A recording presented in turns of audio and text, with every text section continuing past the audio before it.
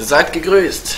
Seid gegrüßt. Ähm, es geht wieder weiter mit einer äh, neuen Folge äh, Photoshop Tutorial. Genau.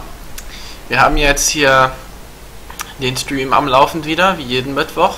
Äh, genau. Ich würde sagen, in dieser Folge oder beziehungsweise für alle, die letztes Mal nicht dabei waren, erkläre ich nochmal das Bild. Und zwar, äh, genau, es fing alles an mit dem Line Art, ohne alles, so, ne? Und ja, dann, äh, dann ist irgendwann, sag ich mal, dann kamen diese Palmen dazu, die ich da hm, erstmal rein interpretiert hatte, erstmal als, als äh, Idee. Dann grobe Farben, hier, ne, ganz grobe Farbflächen einfach, sehr, auch über das Line Art hinaus, ganz unsauber, ganz egal. Ähm, extra unsauber sozusagen. Dann äh, die Feinheiten. So. Die Feinheiten sind jetzt auf einem Layer über allem sozusagen, auch über den Lines. Das heißt, am Ende sehen wir, sehen wir keine Lines mehr oder beziehungsweise nur noch schwach. So.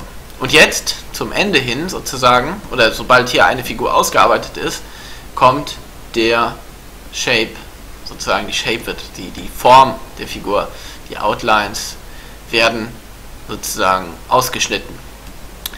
Und dann wird das sozusagen im Vordergrund kommt dann unser Hintergrund rein. Das klingt ein bisschen abgedreht erstmal, aber ihr werdet schon sehen, wenn wir soweit sind, dann versteht ihr, was ich meine. Ich muss einmal kurz mich selber davon überzeugen, dass der Stream jetzt auch läuft. Und dann können wir schon loslegen.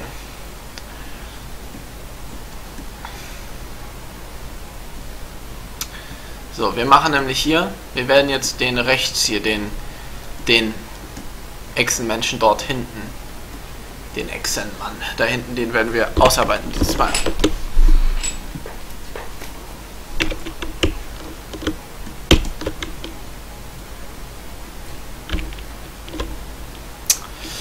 So, aber bevor wir hier anfangen, seine Form auszuarbeiten, fangen wir erstmal an, ihn, ihn allgemein die Details drauf zu bringen.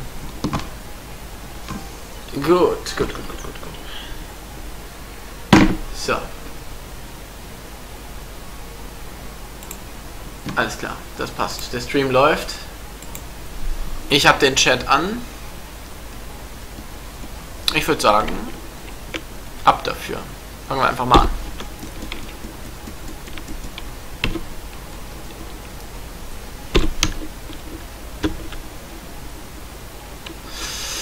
Tja, wie sieht's aus mit dem? Also, im letzten Video haben wir schon viel besprochen für ihn hier. Ähm, für den unteren sozusagen und links.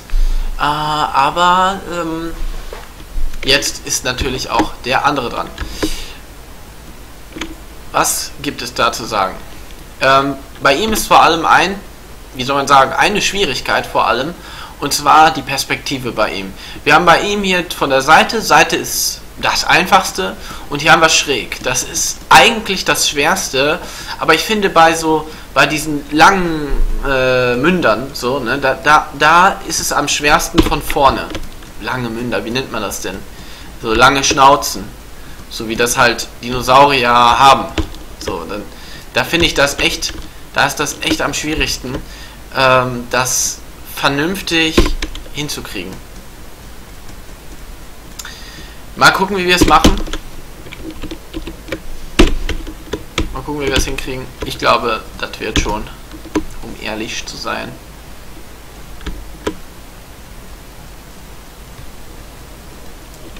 Ja, Hauptsache, wir haben ihn, ihn selbst im Blick sozusagen.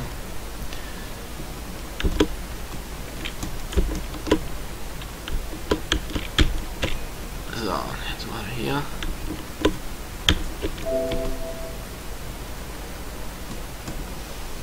Nee, das muss echt.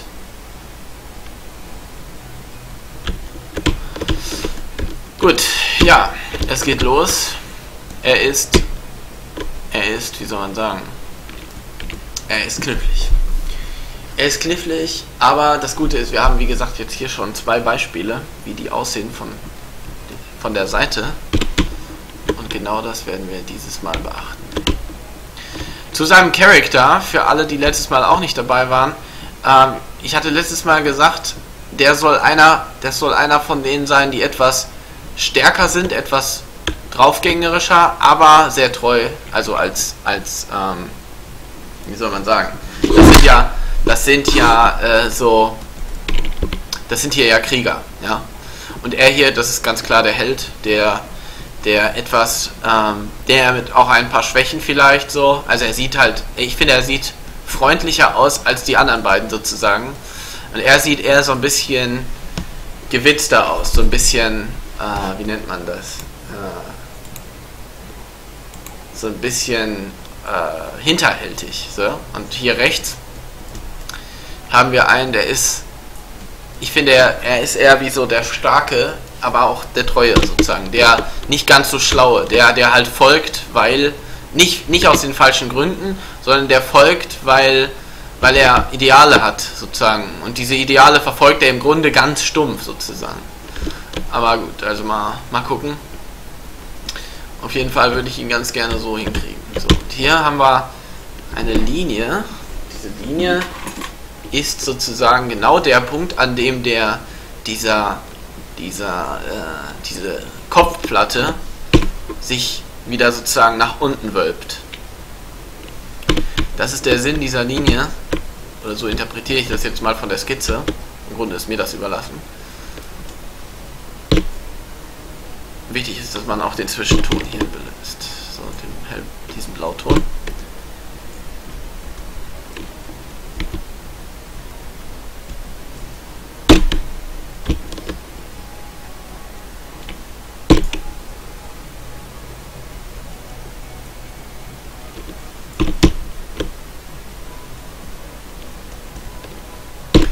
So.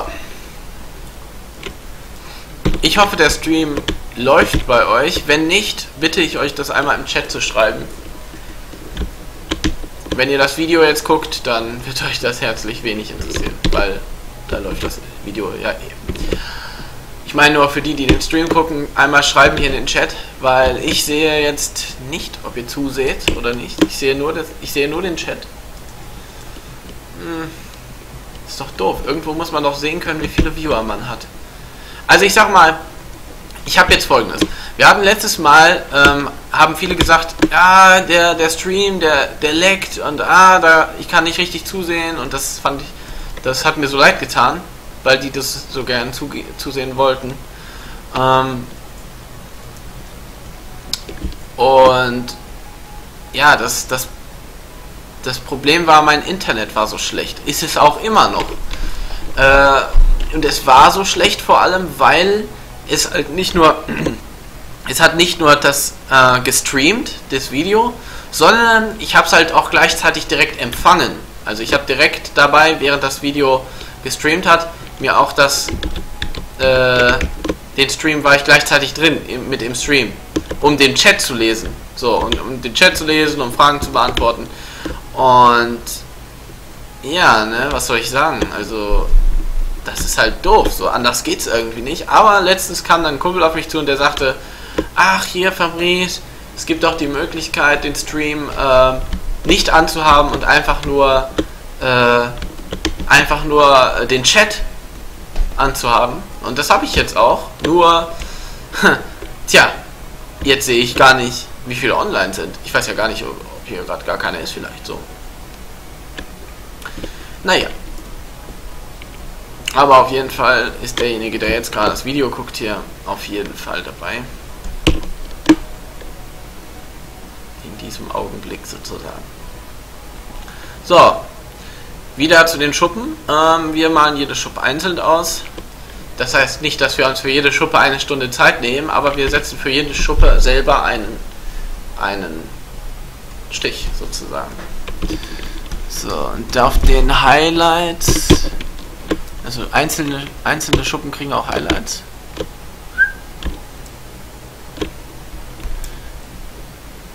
Dann sieht das auch nach was aus.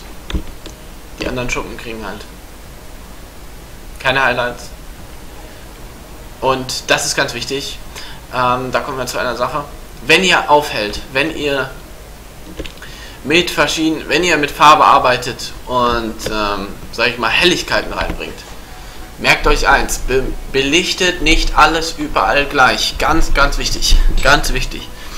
Denn man schießt sich nur selbst ins Bein. Erstmal dauert es länger, alles gleich zu belichten. Oder man belichtet alles schlecht, aber das ist halt nicht die Lösung. Nee, nee, aber nehmen wir mal an, man will einfach nur äh, ganz normal das belichten. Ja? Ähm, man fängt also an, oder man ganz gut belichten so. Man fängt also an zu belichten und dabei ähm, wird auf einmal äh, und dabei fängt man auf einmal an, alles, auszu, äh, alles zu belichten. Größter Fehler, den man machen kann, erstmal zieht man zieht das ordentlich Zeit und zweimal wirkt es nicht. Es wirkt nicht so sehr wie, wie wenn man äh, nur einzelne Sachen belichtet hat, vor allem. Vor allem, ne, man sollte vielleicht sich überlegen, die zu belichten, die Sachen, die, ähm, die im Fokus sind. Aber das ist so so eine Idee. So. Er hat auf jeden Fall auch den Schild, wie die anderen, wie seine Kompagnons. Aber er wird sein Schild vor allem. Hm. Er wird sein, dieses Goldding da bei seinem Schild wird er vor allem hinten haben. Hier an der hinteren Seite. Von dem Schild. Und zwar hier.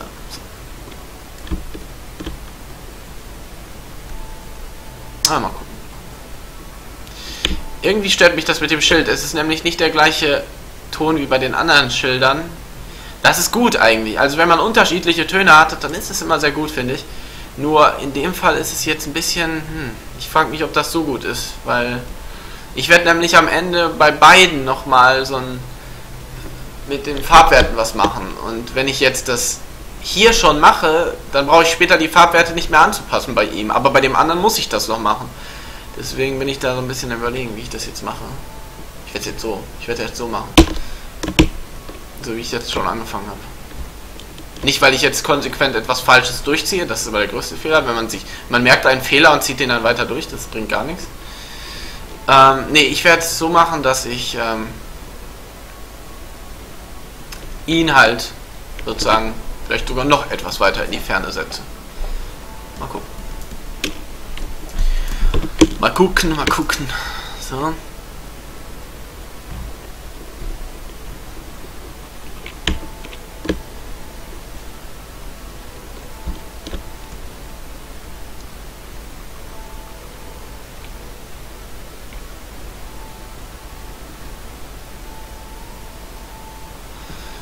So, ich nehme an, ihr hört wieder die Musik nicht. Ich habe noch mal letztes Mal gehört. Letztes Mal habe ich die Musik von dem einen Radio empfohlen. Solltet ihr die Musik hören, fragt einfach, äh, wenn ihr wissen wollt, was das ist. Dann sende ich auch den Link. Kein Problem. Wichtiger Tipp, auch letztes Mal gegeben. Ähm, immer schön Musik anmachen, irgendwas oder irgendwas halt nebenbei auch laufen lassen, was einen nicht ablenkt, aber was einem sozusagen so ein bisschen entertaint, während man hier arbeitet.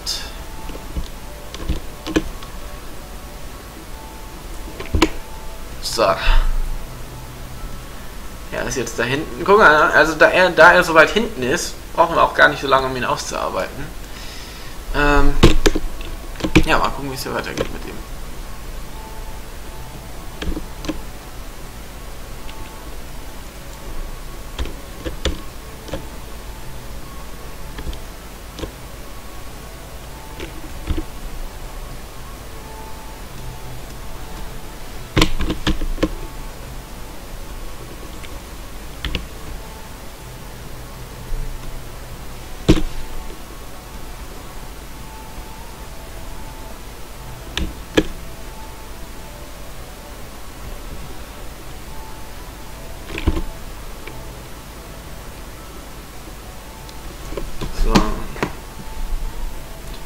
Geht schon mal.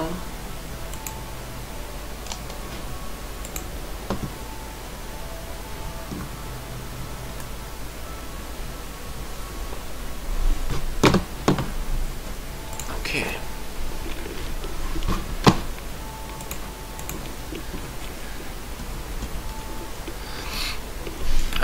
Ja, genau. Wir sind jetzt hier bei der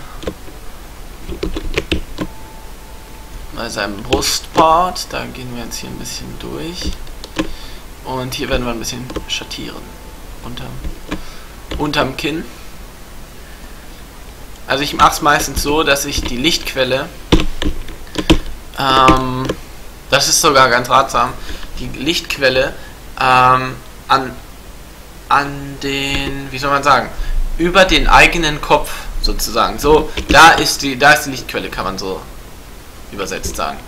Das heißt im Grunde, alles wird von oben in der Mitte belichtet.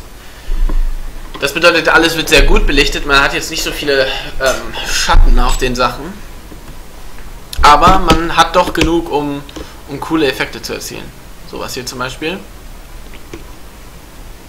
So. Ne, wenn man jetzt guckt, alles klar. Nicht ganz so viel. Ne? Das gleiche da hinten können wir gleich noch angehen.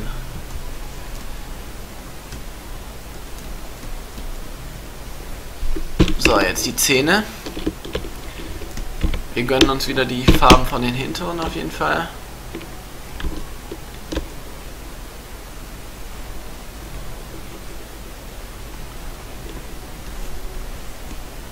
Vorne sind auch ein paar Zähne.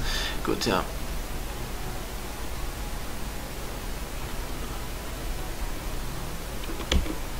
Auf jeden Fall muss er einen gut breiten Kiefer kriegen.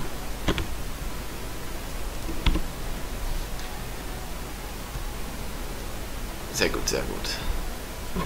Das kommt schon hin jetzt. Jetzt braucht er noch so ein Auge. Ne, erstmal braucht er. Erstmal brauche ich noch das Weiß der Zähne auf seinen Zähnen.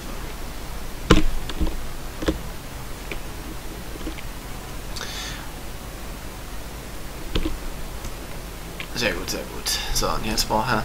Wir können mal folgendes tun. So. Jetzt gibt es die dummen Ränder nicht mehr. Jetzt kann ich ohne das Zeug arbeiten. Gut geeignet für den Stream. Weil ich mittlerweile echt auf alle Sachen verzichten kann. Auf alle Keys, äh, auf alle Tools im Dingens letztendlich. Ganz ehrlich, Leute, das ist echt mal jetzt ein guter, gut gemeinter Rat, ja. Ich weiß, ihr, ihr wollt es vielleicht nicht hören, einige von euch. Ähm, ich war's, ich war früher genauso. Ich habe auch gesagt, Shortkeys brauche ich nicht. Brauche ich nicht. Wozu denn? Ich habe doch hier dies, ich habe doch hier jenes. Ich habe doch alles griffparat. Wozu brauche ich die Shortkeys?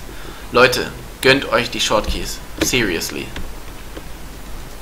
Überlegt euch, wenn sie euch nicht passen, ja, dann modifiziert sie selbst, so dass ihr die nutzt, sozusagen, so dass ihr die so habt, wie ihr sie wollt. Aber nutzt sie. Es, es bringt euch sowas von weiter im Flow, im, im Malflow sozusagen. Wie soll ich das sagen? Also. Ah, jetzt sieht er. Er sieht halt echt so ein bisschen dumm, dumm aus sozusagen, aber jetzt nicht, nicht großartig. Auf jeden Fall brauchen wir wieder gute Namen, wie alle anderen hier auch. Ganz wichtig, die Narben, die erzählen nämlich Geschichten von anderen Schlachten, von damaligen Schlachten, die die jetzt schon hinter sich haben. Ganz, ganz wichtig.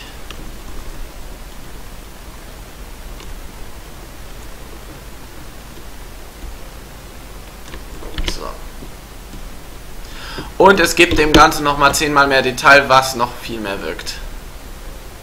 Na, ich setze hier ein, zwei Dingens, ja. Ein, zwei nur es wirkt direkt so, als, als ja, viel echter wirkt es, weil, weil, weil alles nun mal auch Detail hat in der echten Welt. Alles hat immer irgendwie was. Wenn man sich allein mal die Wand in seinem Zimmer anguckt, man denkt, bei der Wand im eigenen Zimmer denkt man so, da, da ist ja nichts drauf. Ja, aber das eben doch. Also ich sag mal, alleine auf einer normalen Wand, da ist halt irgendwie, da sind diese, äh, die ist halt rau. So zum Beispiel. Keine Wand ist komplett glatt und wenn ja, dann sieht man da auch mal Risse drauf oder kleine Flecken oder was weiß ich. Aber So, die Wand ist halt einfach rau. Hat halt auch eine Textur, die Wand. Alles hat so eine Textur irgendwie. Alles hat ein Detail.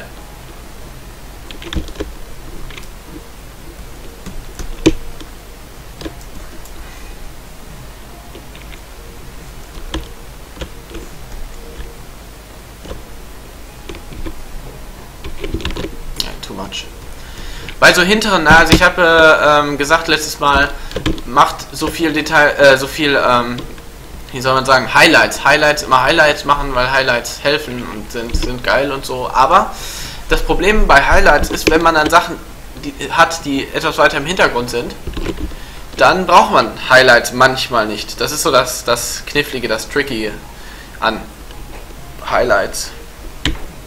Also, Highlights sind nicht die Richtlinie, ganz wichtig. Highlights nur da setzen, wo vorne ist sozusagen. Und vielleicht noch Mitte. Aber wenn etwas weiter hinten ist, das braucht jetzt nicht direkt Highlights. Sei denn, es ist etwas sehr Großes vielleicht. Aber so jetzt, er ist ja jetzt etwas weiter weg und etwas kleiner, sage ich mal so. Er ist jetzt nicht so groß wie ein Berg oder kein Gebäude oder sowas. Dann braucht er das auch nicht.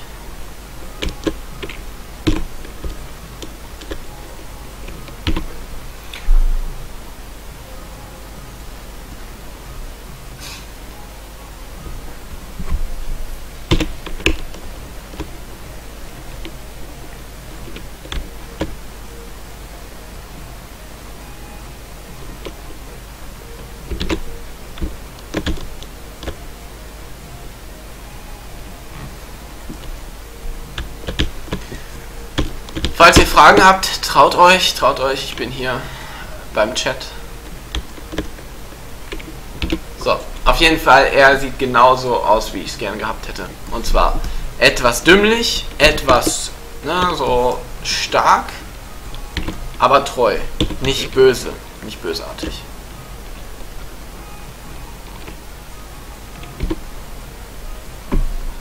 So, jetzt haben wir doch ein Highlight gesetzt in den Augen. Ist vielleicht sogar too much. Passt aber schon. Na, lassen wir so. Ich finde gut. Hm. So. Weiter geht's, weiter geht's. Auf der Schulter auch etwas mehr belichten als dem Rest, um die noch ein bisschen weiter hervorzuholen. Vielleicht hier noch. Der Brust am Anfang. Ah, nicht unbedingt. So. Genau.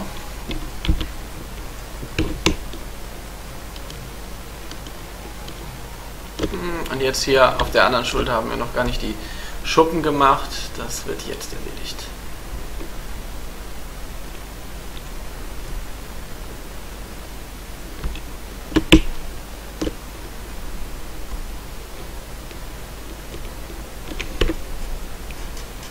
So, jetzt habe ich im Grunde genau das gemacht, was ich vorhin gesagt habe, was ihr nicht machen sollt. Und zwar habe ich alle Schuppen, also die auf der linken Schulter genauso belichtet wie auf der rechten. Das ist ein Fehler. Also wieder wegmachen. Ganz wichtig. Wenn irgendwas nicht klappt, ja, oder irgendwas, wenn ihr merkt, oh, jetzt habe ich das doch falsch gemacht, ja, dann zieht es nicht durch. Lasst es nicht so, wie es ist. Korrigiert den Fehler. Es geht meistens schneller, als man denkt und ja, wenn man meistens, meistens ist es so, wenn man plant schon rangeht, ja, das heißt, wenn man sich sozusagen, wenn man weiß, warum man etwas tut, dann geht es doch schneller.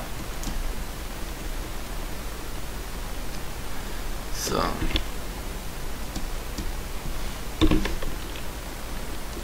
Das heißt, wenn man einen Fehler sieht und ihn korrigieren will, geht das meistens schneller, als ihn überhaupt erst zu produzieren. Und das sieht man oft nicht. Da denkt man, Oh, ich habe jetzt so lange dafür gebraucht. So, was soll das denn? Jetzt kann ich das doch nicht ändern. Ah, doch, kann man. Das ist gar nicht mal schlimm. Sieht mal ein bisschen zu korrekt aus hier irgendwie. Ich finde,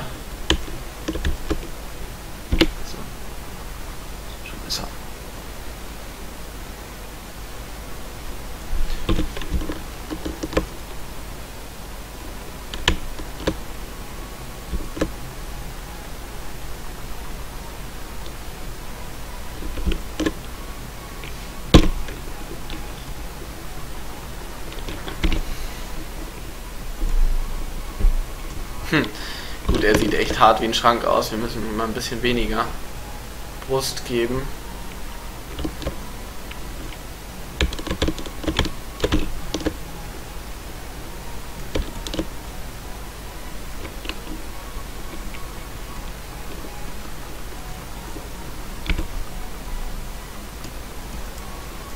Ein bisschen stark soll er auf jeden Fall noch wirken.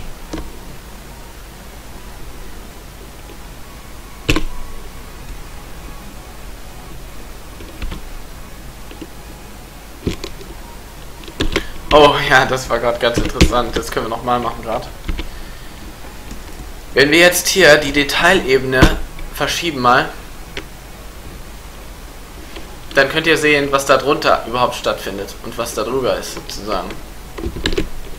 Es ist äh, einfach nur ganz lustig. So.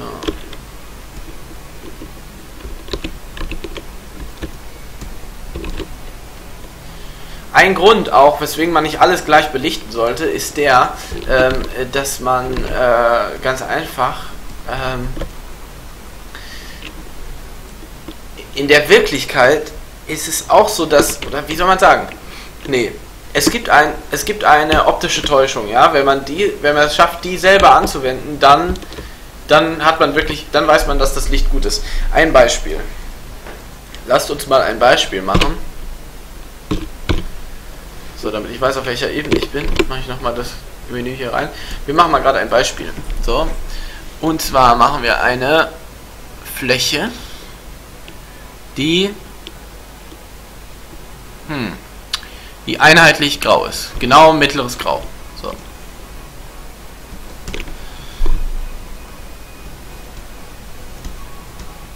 Und jetzt machen wir folgendes. Wir nehmen einen Kreis hier oben.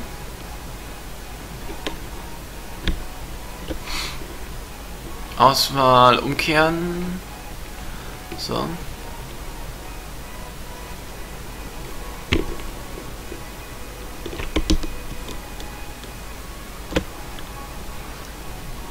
Und jetzt machen wir schwarz.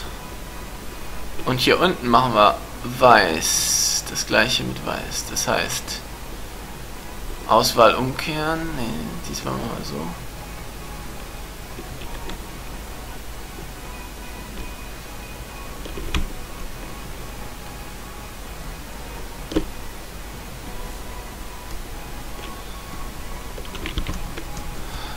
So. Und genau das, was ich euch erzählen wollte, ist natürlich jetzt hier nicht so gut zu sehen. Wie könnte man das denn auf die Schnelle hinkriegen? Moment. Ah, ich glaube, wenn man das weiß vielleicht. Das könnte, das könnte sein.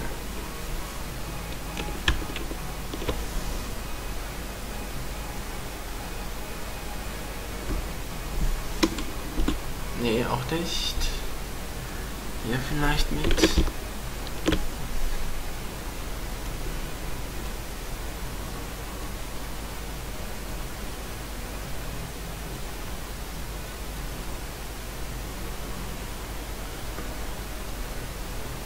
Ah, ja, ja, ja, ja, was mache ich hier die ganze Zeit? Bisschen Richtung Grau. Und hier auch ein bisschen Richtung Grau.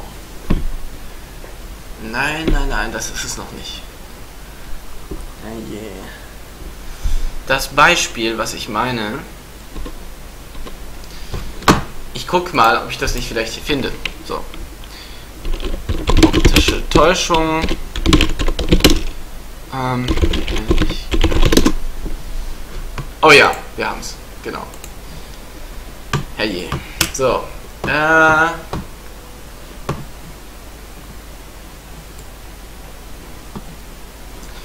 hier haben wir es. Ihr seht hier, ähm, im Grunde seht ihr eins, und zwar, dass ähm, Fläche A und Fläche B sind genau der gleiche Grauton. Ne?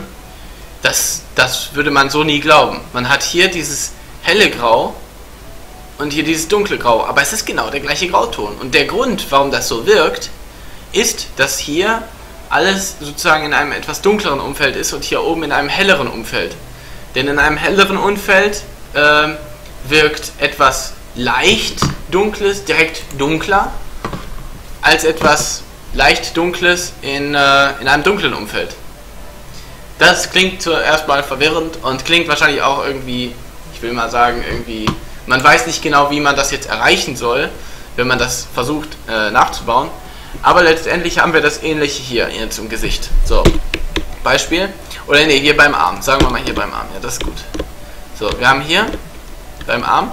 Wir nehmen hier diese, hm, das ist ja hier bei dem, bei dem Schild hier ist das ja die, die etwas dunklere Fläche. Also das helle ist ja hier und das etwas dunklere ist hier. Trotz allem ist das auf dem Arm heller. Und dabei wirkt der Arm doch genauso gleich hell wie das da. Aber so ist es halt eben nicht. Und wenn man dann, sage ich mal, hier diese hellste Stelle hier nimmt, dann ist das beim Arm viel zu hell im Grunde. Deswegen nimmt man so ein Zwischending. So, und dann hat man genau diesen Effekt, den wir gerade hatten bei, dem, bei der optischen Täuschung, hat man im Grunde gerade selber erzielt. Ganz easy. Also das ist jetzt kein Umstand, das kriegt man hin.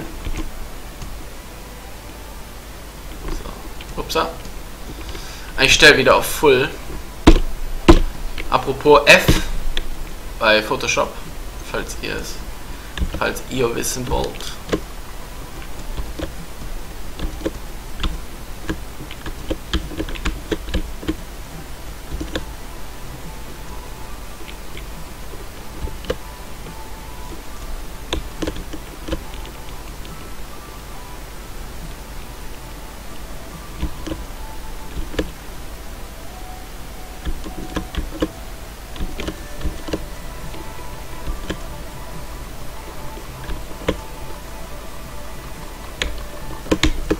So.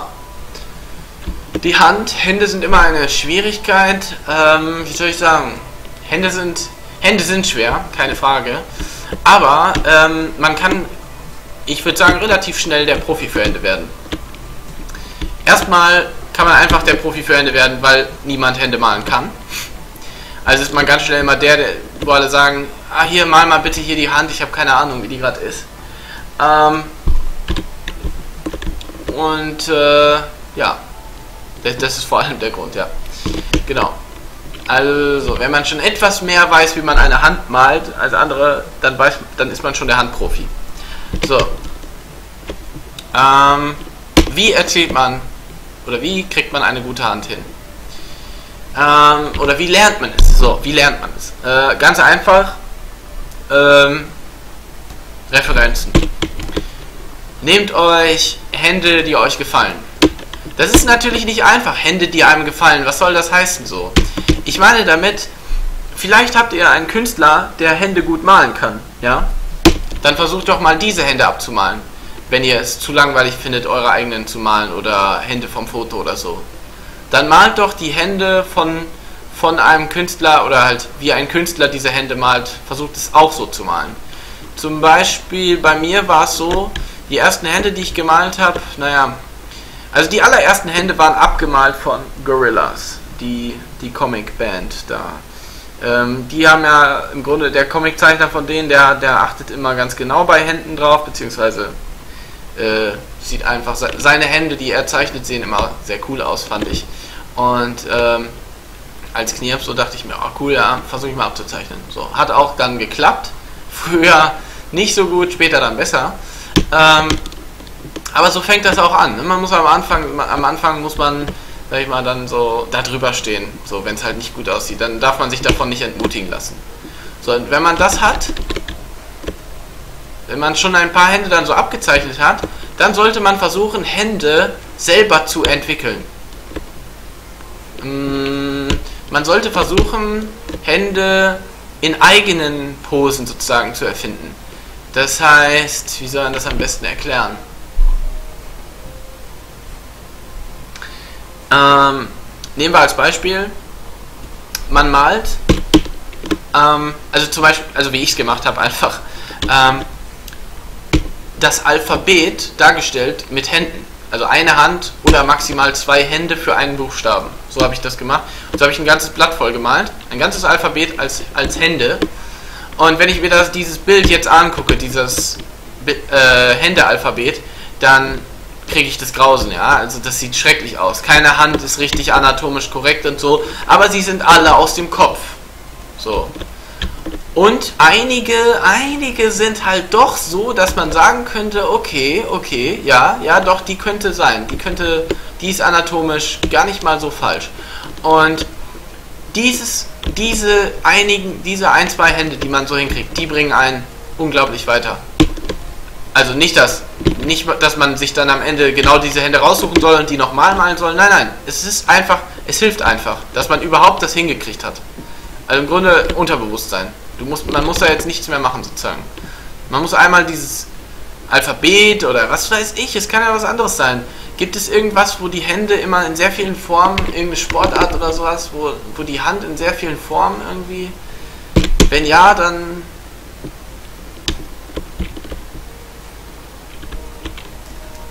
Dann wäre das vielleicht die ideale Lösung. Oder wenn es nicht Sport sein soll, irgendein Game oder so, wo ganz viele Hände gibt oder so. Und dass man sich immer überlegt, diese Hände selber nachzumalen. Ohne, ohne Referenz dann. Dass man erst sich mal überhaupt die Anatomie ansieht, per Referenzen. Und seinen Stil auch so ein bisschen für die Hand entwickelt, so, ne? Ähm, und dann, dann aber ähm, eigener entwickelt. Das ist der beste Weg, um Hände zu lernen. Und dann natürlich niemals scheuen, Hände zu malen. Das ist das, das, ist das Schlimmste. Ne? Also da hatte, mich, hatte mir auch einmal jemand erzählt, ähm, also ich habe das dann immer so gemacht, dass ich, äh, dass sich die Hände irgendwie, die waren dann hinterm Körper oder waren dann äh, im Wasser oder irgendwie sowas. Immer so Tricks, weswegen die Hände nicht dargestellt wurden. So, ja, toll. Und dann wurde er gefragt, so, mal mal ein paar Hände, so ja, da ging gar nichts mehr. Also, das heißt, unbedingt, unbedingt Hände malen, nicht drumrum, einfach versuchen, es wird am Anfang scheußlich aussehen, es wird wirklich scheußlich aussehen. Und da muss sich jetzt auch keiner schämen, wirklich nicht. Am Ende seid ihr die Handprofis. Traut euch Hände zu zeichnen. Hände sind sicherlich am Körper vielleicht eine der schwersten Sachen will ich glatt meinen. So, an Detail jetzt.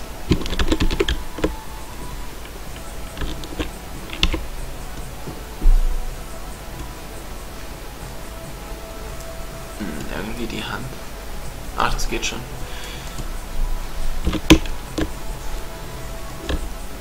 Erstmal, erstmal, erstmal das Braun von diesem Clown, okay.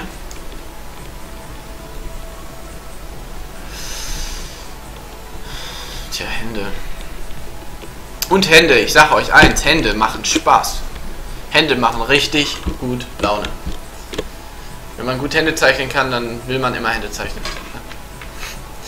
Dann sucht man nach, nach der Möglichkeit, Hände zu zeichnen. Oh, was kann man jetzt noch für... Oder zumindest mir.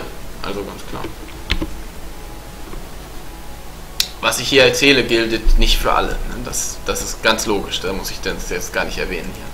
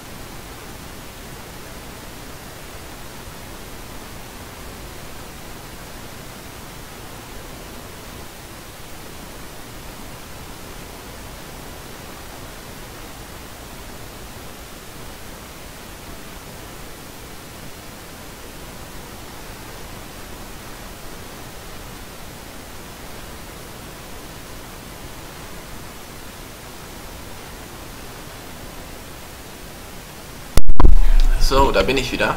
Mal ganz kurz weg. Hatte netten Besuch da. Was ist jetzt los?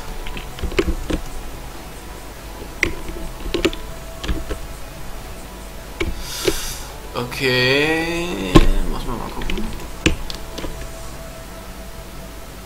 Ah, ich bin auf Kuh gekommen. So,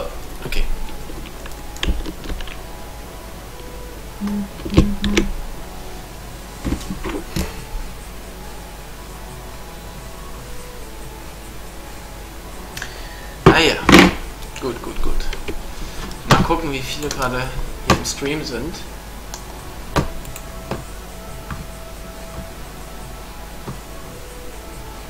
Ja, doch, doch, doch. Gut, gut. Ich will nur gucken, ob äh, genau, ob der überhaupt läuft und ob überhaupt alles okay ist.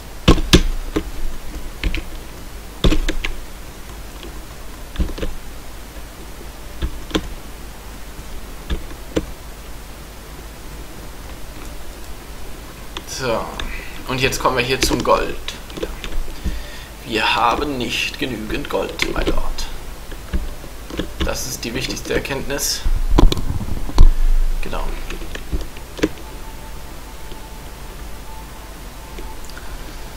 So, die haben, diese Ex-Menschen haben so als traditionelle Waffe so eine Art Nagelbrett mit, äh, mit Gold. Äh, genau. Am Anfang bei Gold setzen wir großflächig dieses, diesen Braunton, diesen, ne, dann setzen wir Gelb, schon ausgewählte, aber immer noch großflächig, ruhig, ruhig, ruhig trauen, mehr zu nehmen. So, hier. Dann setzen wir das nächsthellere und davon setzen wir jetzt nur ganz kontrolliert. Setzen wir jetzt nur an prägnanten Stellen, an Stellen, wo Kanten sind zum Beispiel oder auf langen Linien, hier zum Beispiel. Und dann setzen wir das hellste, den hellsten Ton. Baba, Gold, von weit. Ja, von nahem sicherlich auch. Und genau, dann ist das schon mal ganz gut. Hier könnte man noch mit Detail ein bisschen was raushauen.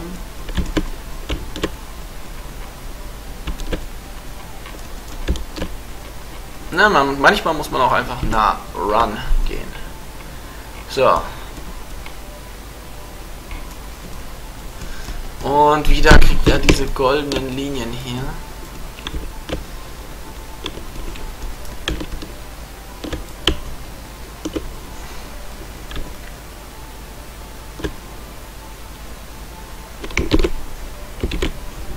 Na, da ziehen wir jetzt ein paar Mal die Linie, so.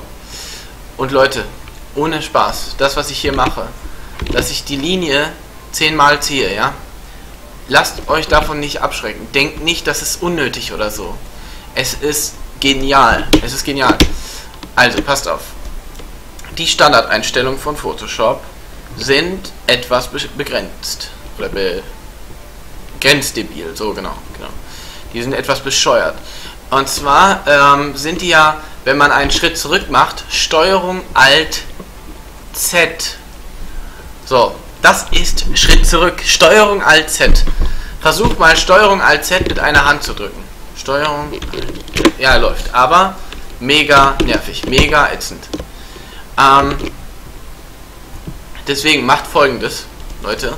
Geht jetzt, wenn ihr jetzt gerade in Photoshop seid, geht auf Bearbeiten, Tastaturbefehle, dann auf Bearbeiten hier, das Ausklappen und Schritt zurück auf Steuerung Y setzen und das, was Steuerung Y ist, ist Farbproof. Das könnt ihr einfach überschreiben. Das braucht ihr. Dafür braucht ihr gar keinen Shortkey. Schritt zurück auf Steuerung Y setzen. Mega, mega wichtig. So, und wenn ihr jetzt einen Strich setzt, so, alles klar? Äh, dann, und ihr seid nicht ganz zufrieden mit dem, drückt ihr einfach Steuerung Y. Das ist ja hier direkt mit der Hand sofort erreichbar. Und das macht ihr einfach zehnmal. So, bis der Strich genauso ist, wie ihr wollt. Und das klingt bescheuert, den Strich immer wieder zu setzen, aber das ist. Das lohnt sich so heftig, Leute. Bitte, macht es. Glaubt's mir. Es ist für euch. Für euch einfach nur erzähle ich das hier.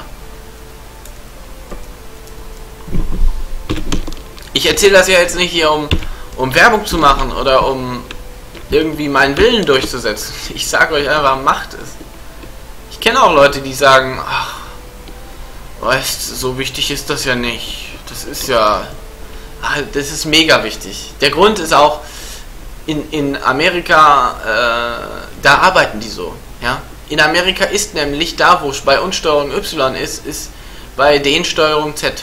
Das heißt, nee, andersrum. Da, wo bei uns Steuerung Z ist, genau, genau, das ist besser. Da ist bei den Steuerung Y. Das heißt, wir wollen das ja, also ich sag mal, wer hat die PCs erfunden? Die Amerikaner, so. Und was ich damit sagen will ist, effizientes Steuerung Z ist halt bei Steuerung Y. Das klingt so bescheuert, ne? aber es ist so. Oh ja, sein Nagelbrett gefällt mir auch ganz gut. So, dass die Nagel etwas fetter sind, ist eigentlich auch mega egal.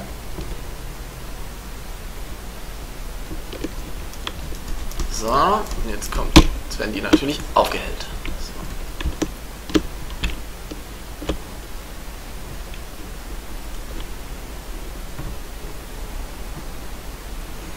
Ne, vielleicht ist es auch nicht schlimm, wenn alle nicht gleich lang sind. Man muss überlegen, die werden geschustert aus ähm, diese Nägel, die da drin stecken. Das sind wahrscheinlich irgendwelche Hörner von irgendwelchen Tieren oder gut, die sind wahrscheinlich aus Metall, also gegossen. Da wird schon nicht. Aber auch da, die haben so primitive Schmieden oder so und deswegen sind die Nägel nicht alle gleich lang und nicht alle gleich geformt. Sonst könnten wir, wenn wir das haben wollten, dann könnten wir einfach einen Nagel malen und alle kopieren und den auf über alle kopieren sozusagen. Aber das wollen wir nicht. So. Gut. Tja, das war's, ne? Hier, fertig ist er schon. Ja, ja, ja. Ja, der ging halt etwas schneller. Der ist da hinten so. Aber ich sehe, also was mich so ein bisschen stört, ist hier die Hand. So, dann drehen wir die Hand ein bisschen. Also in meinen, also ich finde, es sieht so aus, als würde er die gar nicht richtig halten, diese Waffe. So, schon besser, schon besser.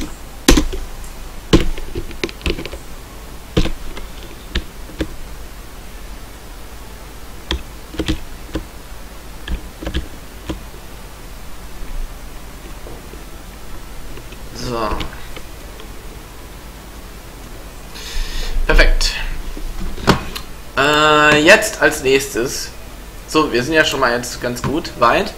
Äh, als nächstes werden wir auch ihn jetzt nochmal ausschneiden. Und wenn wir das haben, dann kommt im Grunde der Background dran. Ups. So.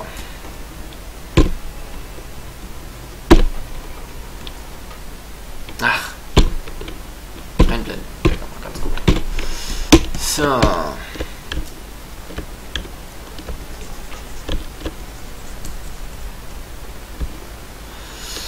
Wir malen außen rum jetzt, genau.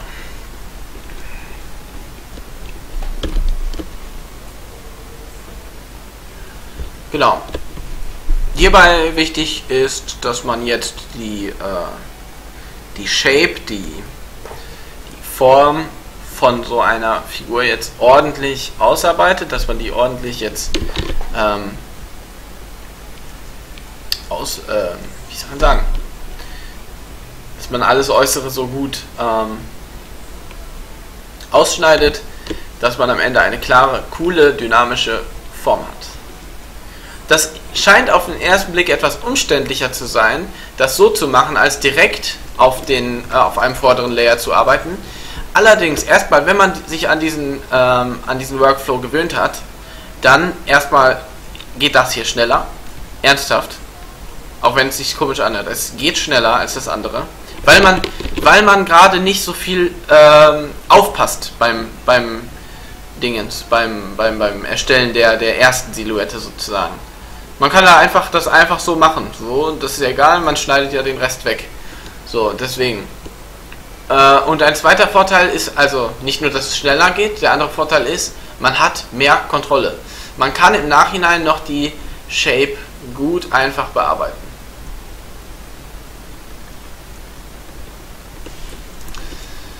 So, hier kriegt er ordentlich was weg.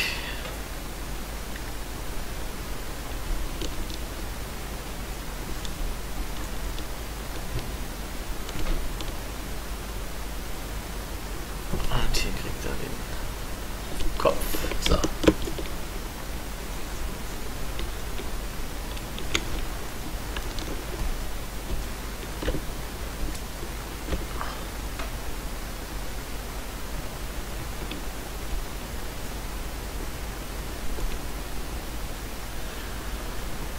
So, ich bin heute ein bisschen genervt, denn ich habe bis 13 Uhr geschlafen. Das hat mich etwas genervt, ähm, weil dann auf einmal der ganze Tag vorbei ist.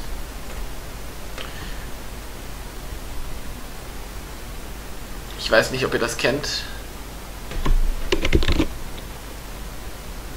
Worauf ich damit hinaus will, ist einfach nur der Stream heute ich hoffe, es ist nicht schlimm, wenn wir den nicht so lange machen heute. Denn ich wollte heute noch ein bisschen was schaffen.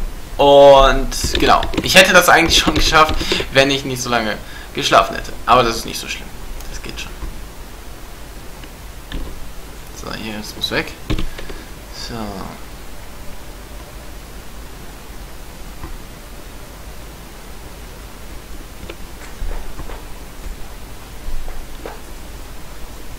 So, und jetzt hier haben wir noch einen enormen Vorteil. Und zwar, wenn wir jetzt diese, die Shape so nachträglich hier rausarbeiten, haben wir es ganz einfach, spitze Kanten zu erstellen.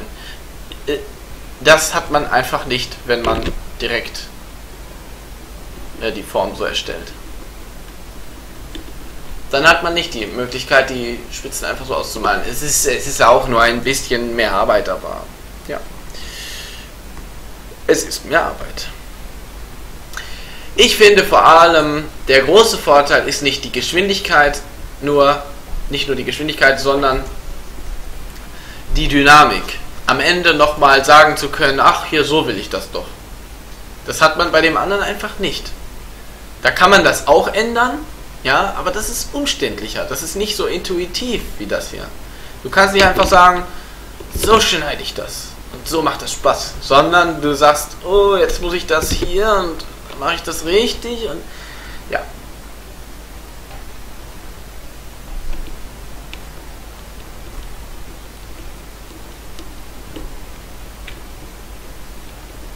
So.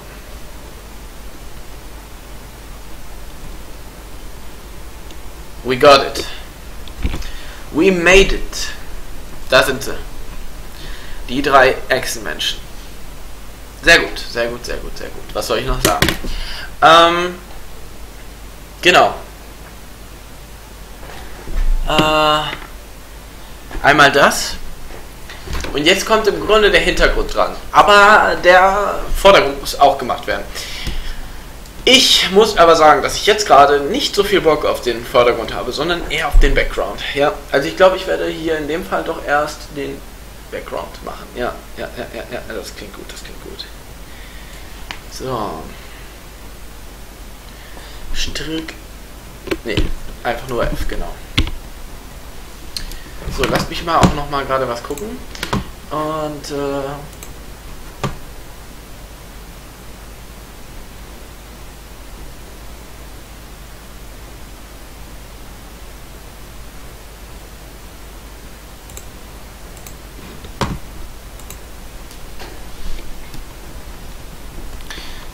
So.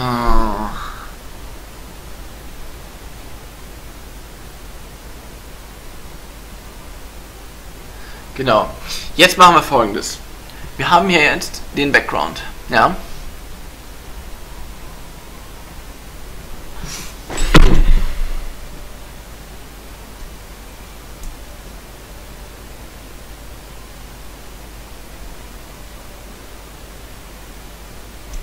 Ja, das können wir noch machen. So, so machen wir es, genau.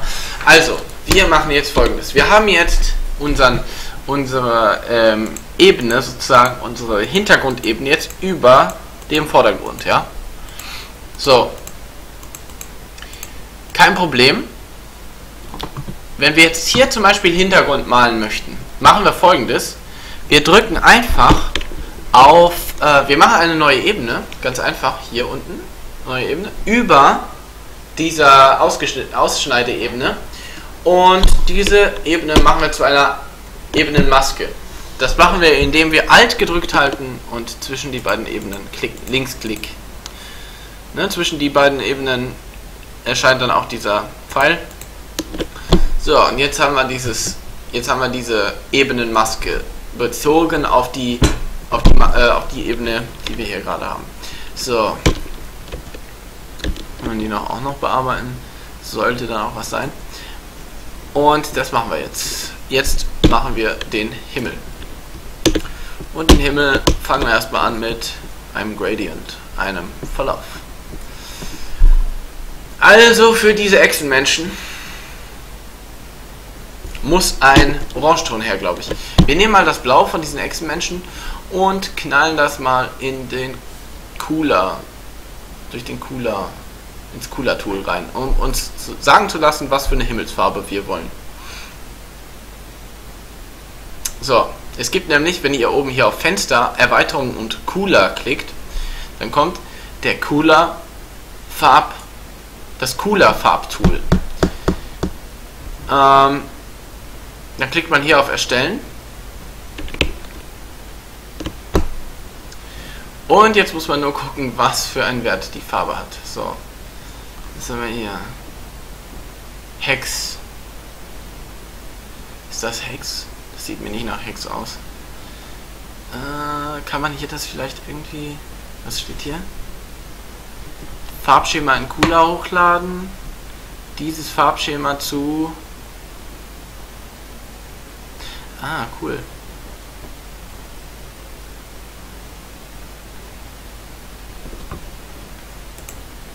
Ah, hier. Hier hat man die unterschiedlichen... Oder? Ist das jetzt? Nee, das ist was anderes. Regel, Triade, erstellen.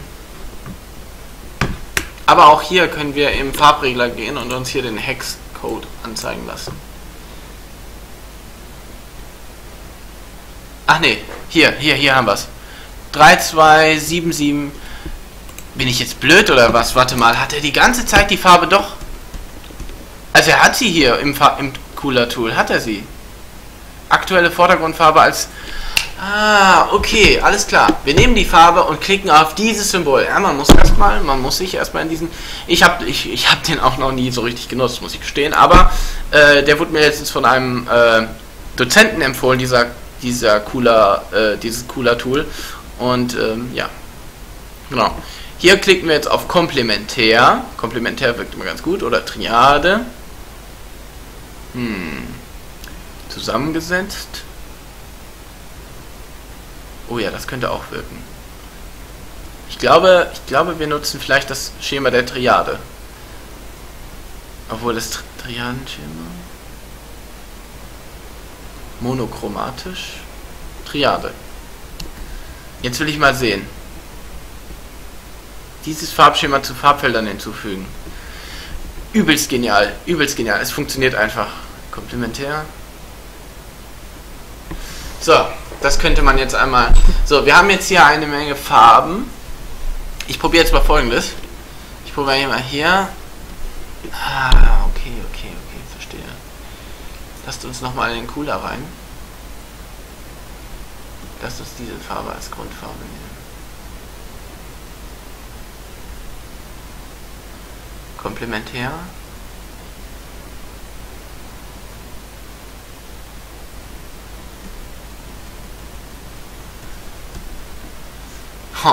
Ja, das ballert natürlich ganz schön. Das, da müssen wir mal ein bisschen gucken, wie wir das arrangieren.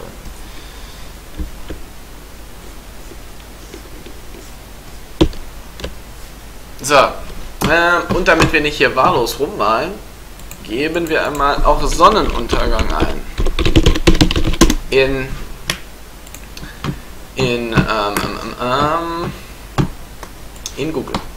So, dann gucken wir hier. Okay, Sonnenuntergänge gibt es ja einige. Äh, aber hier, der hier zum Beispiel, der interessiert mich echt am meisten, muss ich sagen. Also, jo, den finde ich genial, den, den, den nehmen wir. Was man jetzt machen kann, ist dieses Foto reinladen in unsere Photoshop-Datei, aber das wollen wir nicht. Wir wollen erstmal hier. Wichtig ist, dass ich mir jetzt ansehen kann, wo welche Farbe ist. Und zwar ist in diesem Fall hier oben mehr lila oder und sogar blau und unten ist mehr ähm, mehr orange. So. So, wir halten uns jetzt nicht sklavisch an diese Referenz, das ist ganz, ganz wichtig. Wir nutzen diese Referenz als ähm, als einfach als Leitfaden. Hier hinten soll es sogar zu blau gehen. Das probieren wir auch mal. Ah, nicht allzu viel. Ich finde eher das Orange hier. Es fehlt mir so ein bisschen das Gelb. Das ist ja hier. Ne, dadurch weiß ich automatisch, welches Gelb am ehesten passt. So. Und kommen hier auch voran. Unten hier wird es nochmal so ein bisschen dunkler. Nochmal ins Orange. Hier.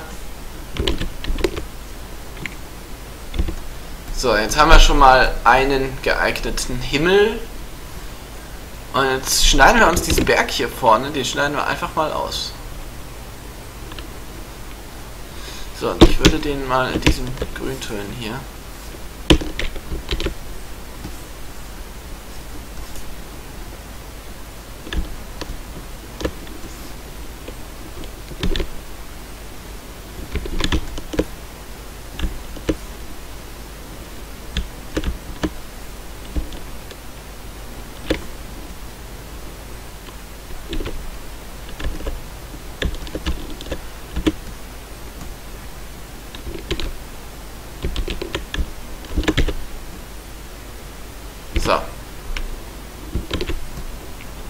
Ah, lassen wir es mal so.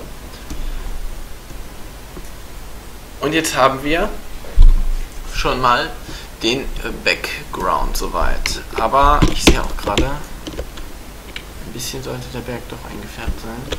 Ein bisschen sehr, ein bisschen mehr.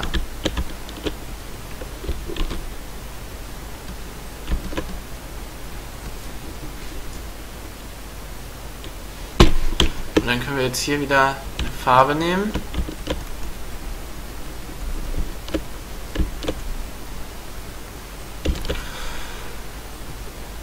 Und jetzt können wir mal rumprobieren. Wie wirkt was?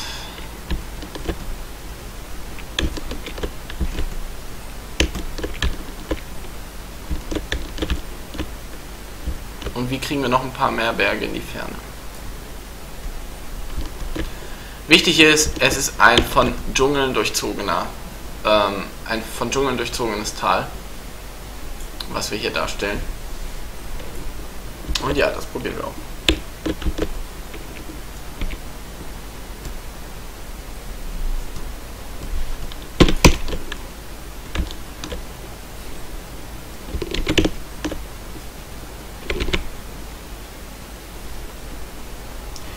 So, das Ding ist, so sehr bin ich gar nicht scharf drauf, einen Sonnenuntergang darzustellen, sondern es soll einfach diese, diese, wie soll man sagen, abendliche Dschungelatmosphäre herrschen.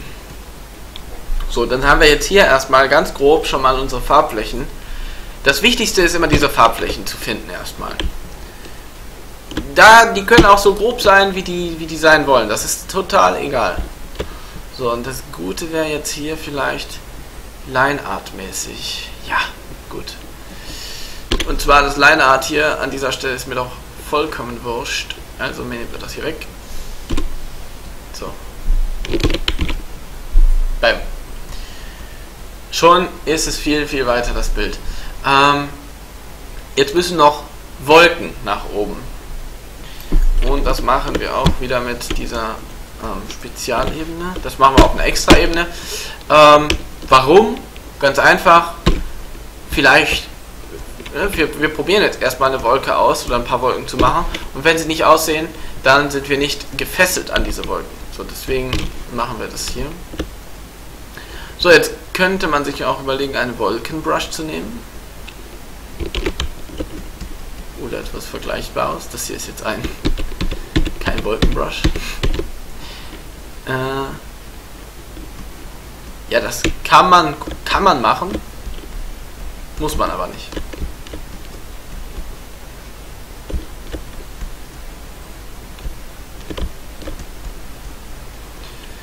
Ich finde am ehesten wirken gemalte Wolken.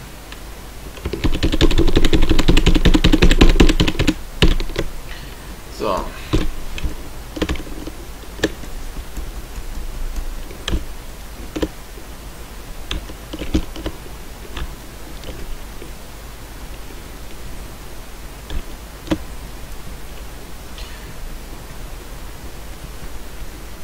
Machen die jetzt hier in diesem Lila. Sie können auch zum Rot verlaufen.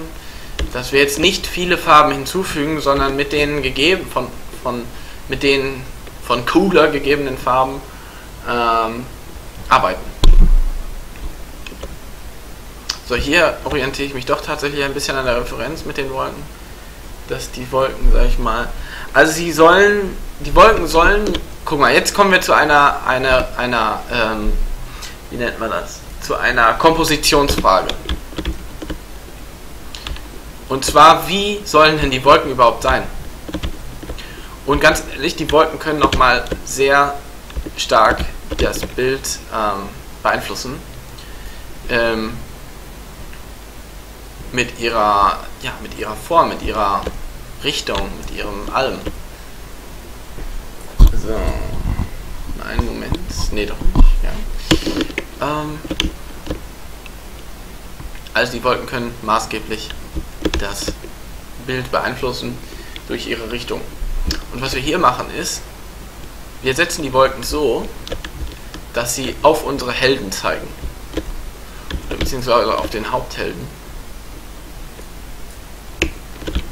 Also wir setzen sie immer noch glaubwürdig an, dass sie glaubwürdig aussehen. Aber wir nutzen, aber wir lenken sie auf jeden Fall in die Richtung der Charakter.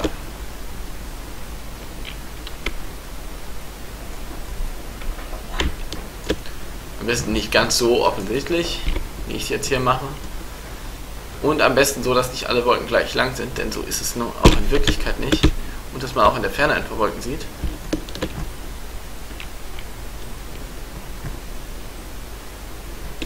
All dies tun wir gerade. Ich wollte schon einen wirklich sehr bewölkten Himmel. Das war auch direkt, das war auch die Idee dahinter.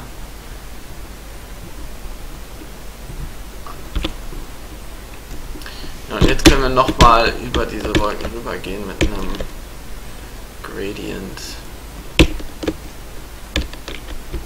den ein bisschen Kontrast nehmen. Denn Wolken sollten nicht so kontrastreich sein. So, was ich gerade, was mich gerade so ein bisschen wurmt, ist, dass das alles so ein bisschen grau, gräulich ist. Wenn man jetzt mal guckt, wenn man die Jungs hier vorne mal wegnimmt, dann ist das, der Himmel ist doch jedenfalls relativ grau. So. Und auch da könnten wir uns behelfen. Also ich bin schon mal so ganz zufrieden mit allem beim Himmel, also können wir den auch schon mal merchen. So. Und jetzt könnten wir einmal versuchen, da ein bisschen mit Helligkeit, Kontrast ein bisschen ranzugehen. Denn den Himmel wollte ich wesentlich heller haben.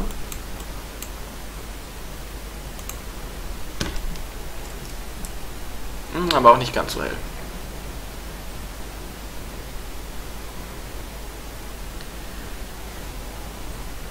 So, ganz gut, das ist ganz gut.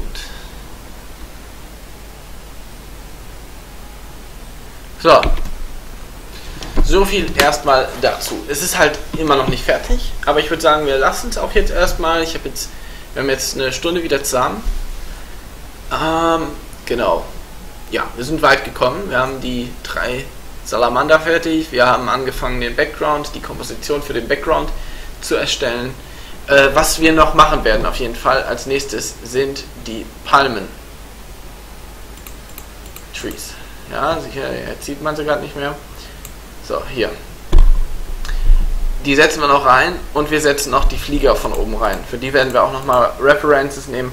Also sind wir bei gut nochmal Ah, wir werden noch ein paar, wir werden noch ein paar Stunden dafür brauchen wahrscheinlich. Gut, ob, ob wir dieses Bild hier weitermalen, dann ist die Frage. Ich weiß es nicht. Ähm, vielleicht habt ihr ja mal Lust, was anderes zuzusehen. Ich meine, ne? wobei es bald wieder spannend wird, jetzt mit den Bäumen zum Beispiel, da wird es auf jeden Fall wieder spannend. Und ähm, ja, die Wolken auch nochmal ein bisschen verfeinern vielleicht und äh, die Flieger. Dann sind wir eigentlich schon fertig mit allem. Ne? Der Boden hier noch unter unseren Kriegersfüßen und dann haben wir es ja eigentlich schon. Das ist, das ist nicht wenig, aber es ist auch nicht viel. Es ist machbar. Ich, ich fände es auf jeden Fall cool, äh, je nachdem, äh, ob ihr dabei wärt oder nicht äh, im Stream.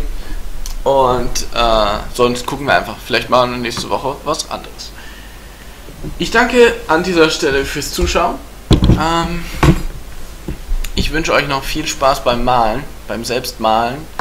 Und ähm, ja, ich sag euch, malt weiter, malt weiter. Ihr werdet die Besten. Niemals aufgeben, niemals kapitulieren. Und damit wünsche ich euch noch einen schönen Abend. Gute Nacht.